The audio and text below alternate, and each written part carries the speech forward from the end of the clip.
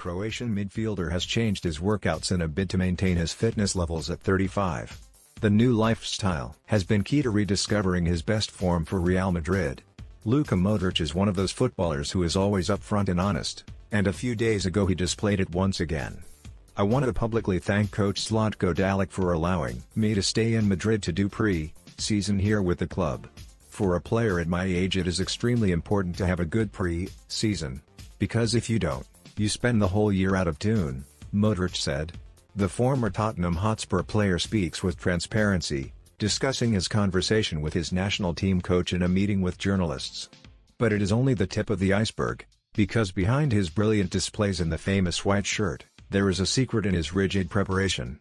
10 Modric Real Madrid midfielder Croatia News stats Modric enjoying his twilight years at the top in Madrid's recent 2-0 win against Levante he was outstanding, with a passing accuracy close to 89%, 48 in total, and 16 dribbles completed.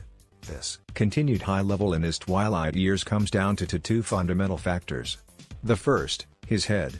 He feels young and admits it, I know my age, but I feel good and as long as I am I want to continue at Madrid. The second factor is physical. He has changed his way of life and his training routine. So much so that in September, as he acknowledged, he asked not to go with the Croatian national team in order to stay in Madrid and do pre-season with Zinedine Zidane's squad. Real Madrid Spain news stats a careful diet, good rest and recovery and the mentality of a kid in each training session are a few essential factors that have taken Modric to the highest heights. He has only missed out on one of the last 13 games, the last match of last season against Leganés.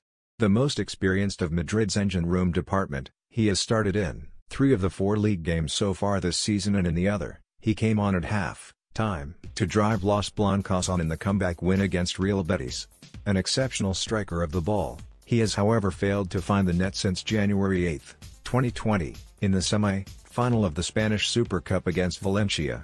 The man from Zadar will be looking to add a couple of goals to his game as Madrid look ahead to their Champions League campaign and aim to retain the La Liga title.